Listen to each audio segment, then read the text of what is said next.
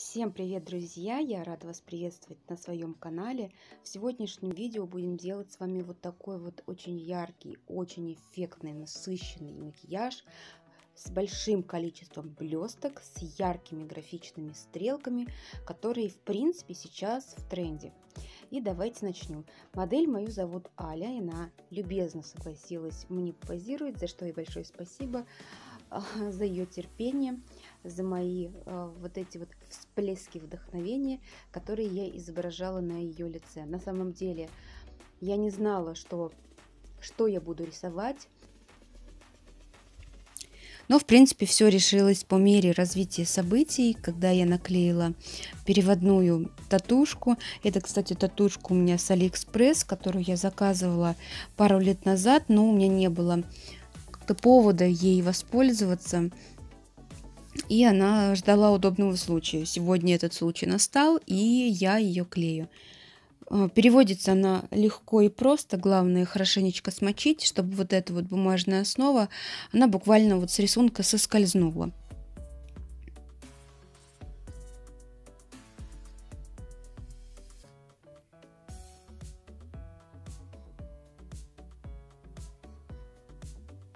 И вот как видите, без проблем все у меня отпечаталось. Единственное, по краям я немножечко допечатываю, доклеиваю.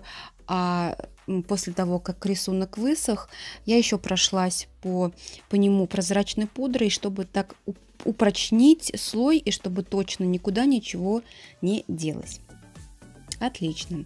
Давайте теперь перейдем к макияжу. Начну а, начну макияж с подготовки кожи. Это белорусский бренд Vitex, дневной крем с SPF 15, увлажняющие, слегка питательная текстура. Наношу на все лицо таклоном тонким слоем, немножко стягиваю на шею, потому что Туда же буду наносить э, тоны, чтобы он меня хорошо без проблем скользил, не залипал и не, не ложился кусками. Дальше кожу слегка подсвечивающую, подсвечиваю а, базой от Лены Богданович. Наношу буквально тончайший слой, чтобы подсветка была просто таким легким намеком изнутри. А, глядя на состояние кожи, на состояние лица у Али, я решила, что начну макияж с корректором. Буду нейтрализовывать ее синячки, которые, в принципе, ярко выражены. И буду использовать консилер-корректор от э, Clarins Everlasting в оттенке 02, который имеет такой персиковатый подтон. Этот подтон хорошо мне поможет нейтрализовать э, темные, темные синячки, темные круги у Али. И вот после того, как уже сделала корректор, я наношу тон. Это э, Риммель. Он имеет такую сливочно-муссовую текстуру, довольно-таки плотное покрытие, э, имеет матово-бархатный финиш. Но что удивительно, для такой текстуры он не подчеркивает никакие шелушения, носится очень комфортно и вот какой-то тяжести а, не ощущается.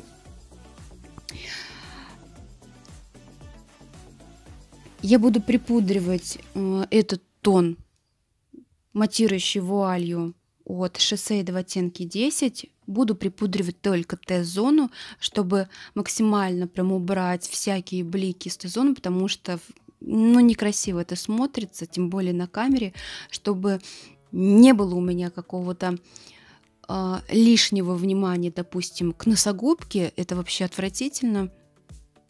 А вот периферию буду оформлять уже подсвечивающей пудрой моей любимой от марки Ninel Эль Барокко в 232 оттенке. И буду наносить ее нейлоном для того, чтобы покрытие было максимально тонкое, а подсвечивание, подсвечивание было э, максимально такое вот ненавязчивое. Дальше я буду возвращать лицу скульптуру. Для этого беру скульптор в оттенке 02 от марки Лик. Очень красивый оттенок, но пигментация там такая нормальная, выше средней, поэтому будьте с ним осторожнее, набирайте понемногу, ознакомьтесь с ним тоже аккуратно, потому что им прям вообще легко набить нить, вот прям вот на раз-два. Поэтому берите небольшими, небольшими такими штришками и пробуйте на руке, и только уже после этого наносите, переносите на кожу. Далее буду использовать румяна хайлайтер тоже от Лик, который я также купила, как и скульптор на выставке в Москве на Makeup Days. Это румяна в 0,3 оттенке. Я их наношу и как румяна, и как обычный хайлайтер, потому что они скорее хайлайтер, чем румяна, но все-таки в них есть такой теплый персиковый оттенок, который очень круто освежает и который очень круто подходит на весну.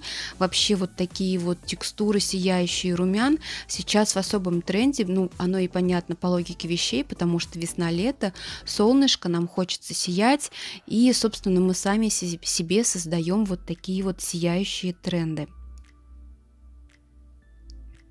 Далее я буду оформлять брови. Брови, будет, брови буду оформлять карандашом от Tave Cosmetics. Это Триумф, наш российский, по-моему, бренд.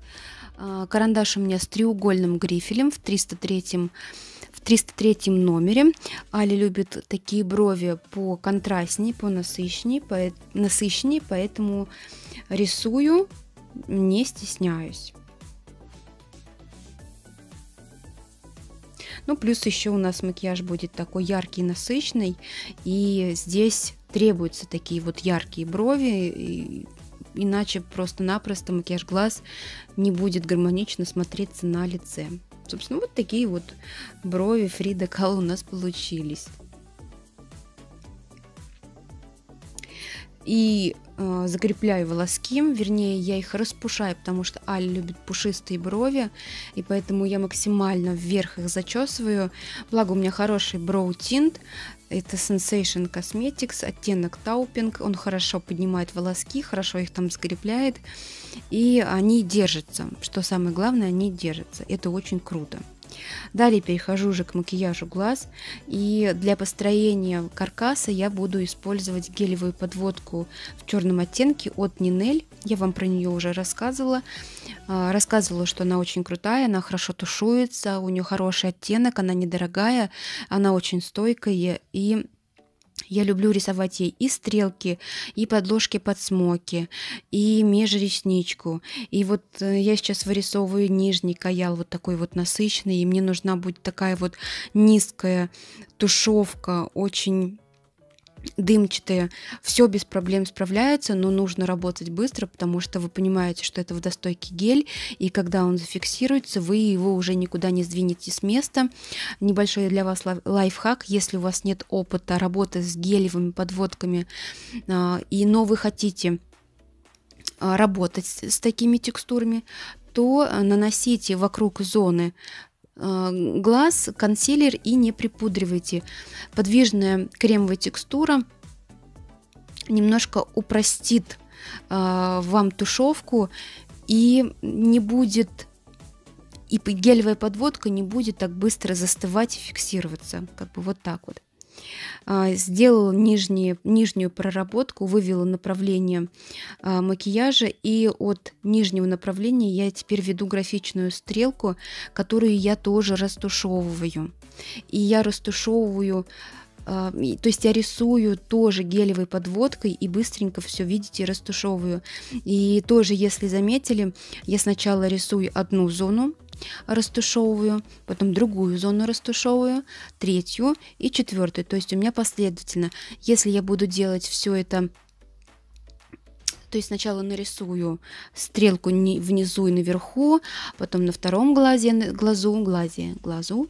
А, в общем, второй глаз нарисую. У меня ничего не получится, потому что пока я рисую второй, первый у меня уже зафиксируется, и получится у меня обычная стрелка. Мне хочется именно растушеванную.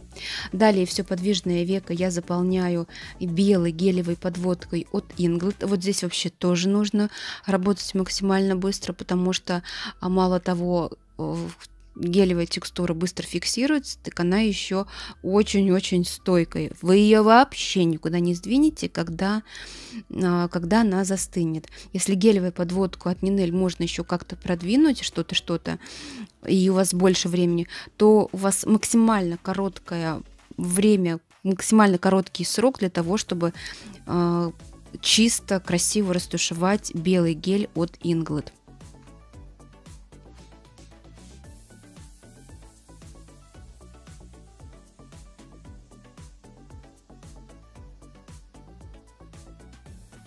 У меня происходит залипание подвижного века. Гель у меня залипает. Поэтому мне нужно снять вот этот липкий слой.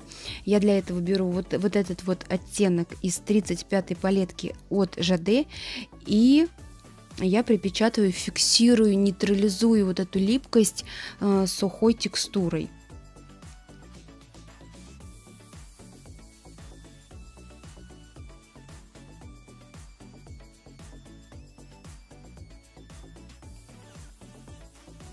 И вот такой вот у меня результат получается. На самом деле можно тут использовать белые матовые тени, но мне попались вот такие вот.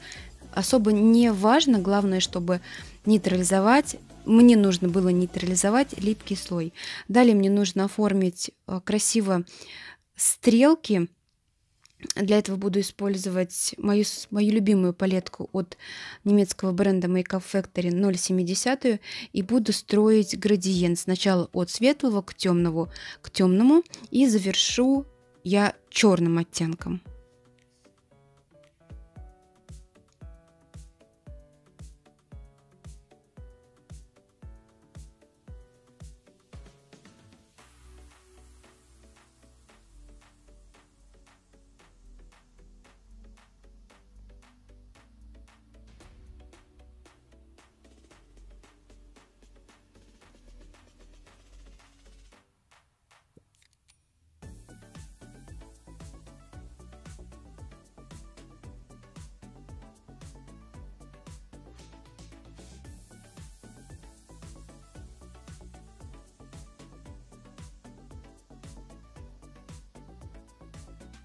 Оттенок у меня черный от марки Герлен. Это матовая текстура. Очень хороший, насыщенный черный оттенок. И я прям буквально чуть-чуть прохожусь по стрелочке. И получается в итоге у меня градиент из трех цветов. Светло-коричневый, темно-коричневый и, собственно, черный.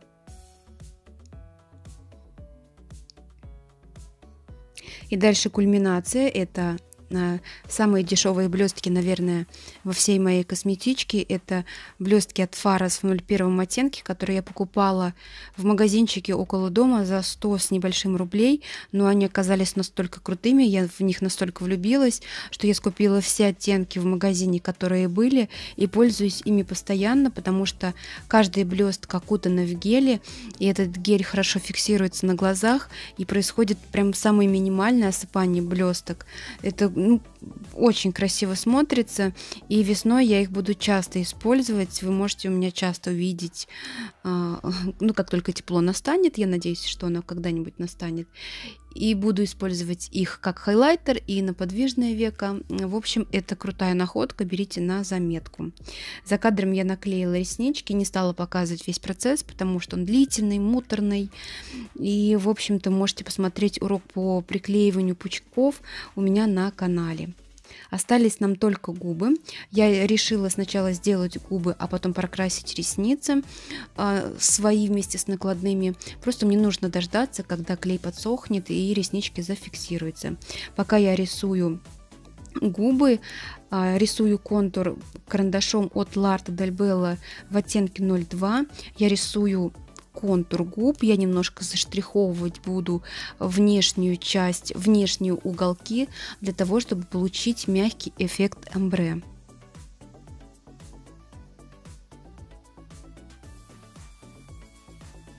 На центр я положу помаду того же бренда L'Art Del Bella а, в номере 301.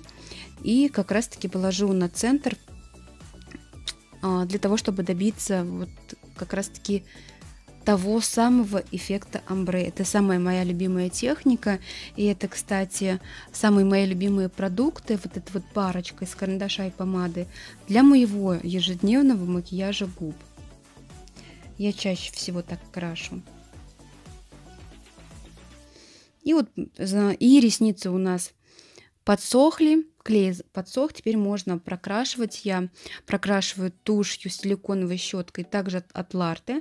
Я сначала под, подкручиваю кончики накладных ресничек и потом уже к ним прицепляю а, свои родные ресницы, чтобы не было такого двух, двурядья, такого нелепого некрасивого эффекта. И вот такой вот образ у нас с Алей получился. А, в конце еще прикреплю фотографии для того, чтобы вы еще раз оценили образ.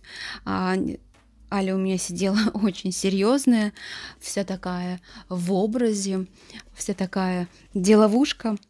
Но на самом деле за кадром мы смеялись, ржали и много шутили. Оставляйте комментарии, как вам такой образ, а также ставьте лайки и подписывайтесь на мой канал. Всем до скорой встречи. Пока-пока.